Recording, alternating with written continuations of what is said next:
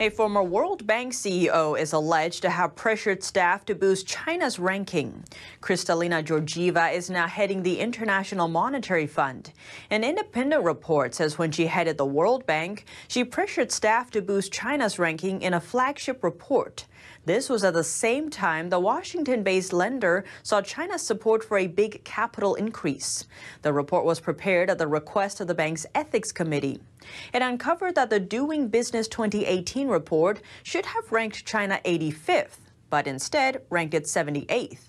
The report's ranking is based on world business conditions. Georgieva says she disagrees fundamentally with the findings and interpretations of the report.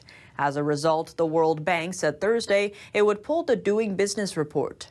The Chinese regime said on Friday it attaches great importance to improving the business environment. China is the third largest shareholder of the World Bank after the United States and Japan.